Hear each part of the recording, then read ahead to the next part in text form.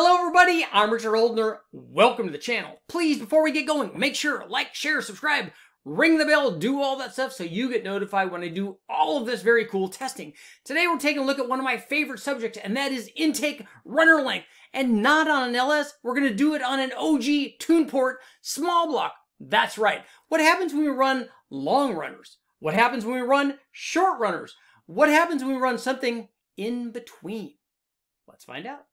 To illustrate the effect of intake manifolds on your power curve, more specifically the change in runner length, what effect the change in runner length has, I'm going to show you a test that I did way back when on TunePort small block Chevy applications. You remember the old L98 stuff and LB9, the 5 liter and the 350 stuff. We actually ran this on a modified 383 so that basically we could get everything out of what those intake designs had offered. There's a full video up that shows all of these intake manifolds. I tested 10 or 12 different versions, including carbureted versions, all the various versions of the aftermarket tune port stuff. So that video is up, but check it out. But I want to show you what happens when we change basically just the runner length here, and you can see what happens. It has a pretty pronounced effect on the power curve. So we'll take a look at our test motor. This was actually a 383, and we'd have a little bit of a difference in the power curves if we tested it on a smaller 350. In fact, on a, on a smaller, milder 350, it would tend to favor the longer runner intake manifolds rather than the shorter versions.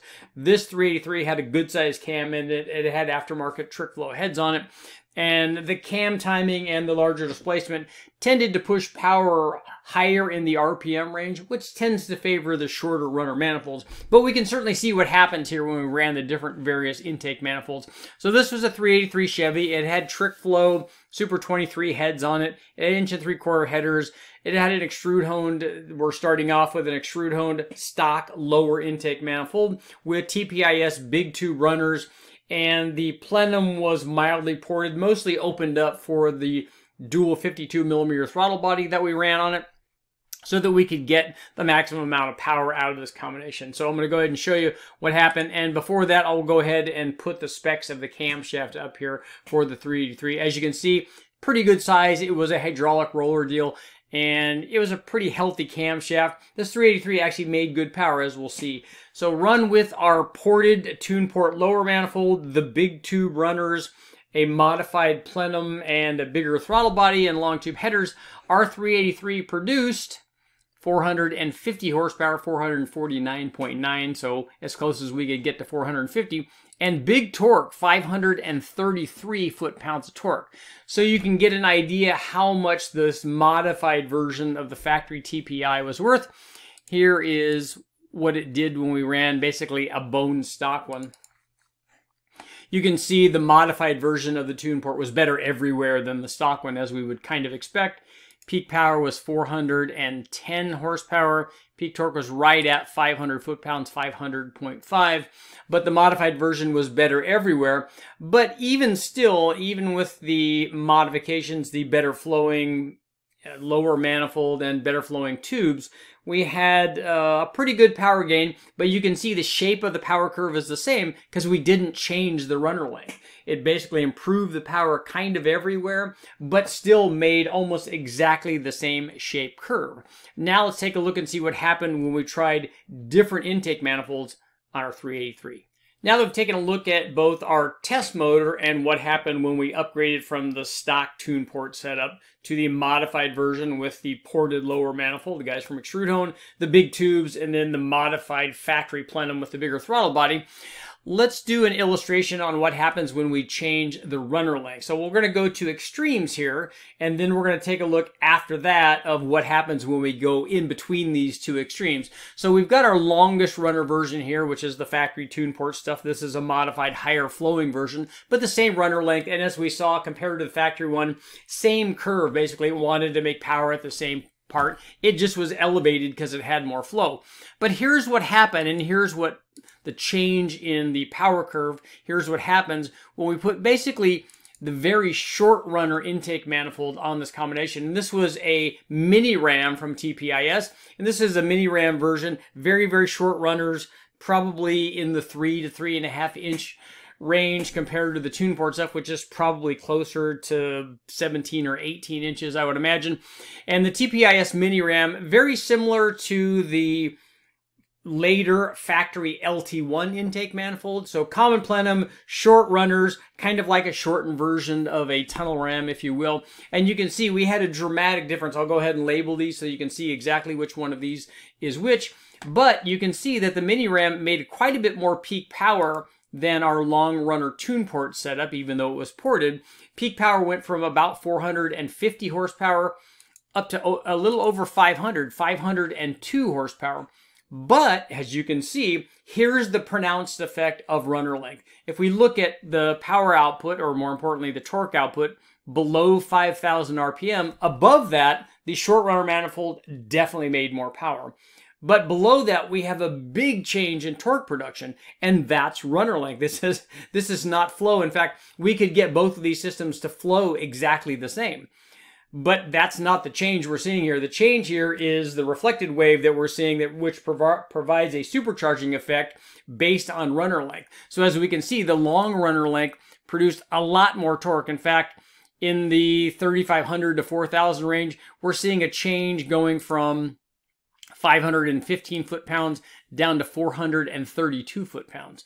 So you're seeing 70, 80 foot pounds of torque change in favor of the long runner intake manifold. And it enjoyed that gain all the way up to 5,000 RPM. Now, if you're running it and you want to run this thing out to 6,500, then the short runner manifold definitely the way to go. So this begs the question, which of these combinations would you pick? Do you want all of the high RPM power of the short runner manifold or do you want all of the low speed torque so you could sit there and spin the tires forever of the long runner tune port setup? Now that we've taken a look at the two extremes, the tune port setup versus the short runner mini ram setup, let's take a look at something that's in between. And in this case, our in between intake manifold configuration that I tested on this 383 was an Accel Super Ram. So it has runner length that's positioned exactly in between the long runner TPI setup and the short runner mini ram.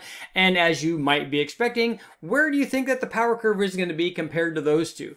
It's going to make less torque than the long runner and more torque than the short runner, and that's exactly where it is. I'll go ahead and bring the mini ram up, mini ram combination up here in a second. But let's take a look at a comparison between the tune port setup and the Accel Super Ram. Well, the Super Ram did exactly what we would expect it to do. Its shorter runner made less torque. In this case, the torque came down from 533 foot-pounds down to 506 foot-pounds. And because it has shorter runner length, it also made more peak power. So peak power went up from 450 horsepower up to 479 horsepower. So exactly what we would expect.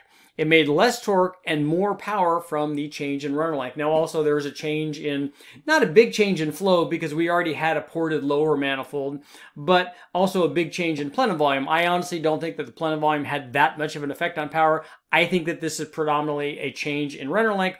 And to, to illustrate this even further, let's take a look at see how these two compare to the very short runner mini ram. And what I'm going to do here is because this gets confusing because I have all of these as the same color and that's the only way I can do it. Unfortunately, my software does not allow me to change that. I'm going to move myself. We have the torque curves here for three combinations. We have the tune port, the long runner. We have the super ram, the middle length runner. And then we have the mini ram, the short runner. And this is exactly what happens to the torque curves. And we see that long runner made the most peak torque, 533 foot-pounds. The super ram made the next highest torque, 506 foot-pounds. And then the short runner mini ram made 471 foot-pounds. And not only did it make less peak torque, it also pushed where it made peak torque higher in the rev range compared to the other two long runner versions. And for the guys that are interested in the horsepower, let's switch over from torque to horsepower really quickly. We'll do that and I will move myself to get out of the way. And it did exactly what we expect. The short runner mini ram made the most horsepower. It made 502 horsepower. The medium runner length, Super Ram, made 479. And then the long runner tune port setup made 450 horsepower. But as always, the longer runners always make more power down low. The question isn't which one of these does this and how can I then tune for this. The question is where do you want to make power? And for those that are interested, I ran a lot of other combinations here. I'll show just one more really quickly.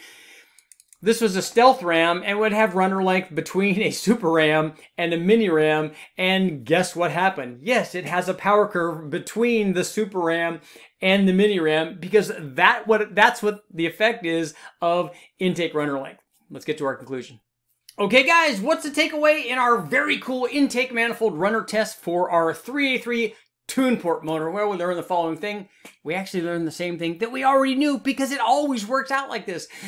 Running a long runner intake manifold makes more power down low. Running a short runner intake manifold makes more power up top. And by the way, this also works under boost. So it doesn't matter whether you're running a supercharger or a turbo. Choose the intake manifold to make power in the RPM range you plan to run. Armature Older. make sure to like, share, subscribe, ring the bell, do all that stuff. I'll keep testing.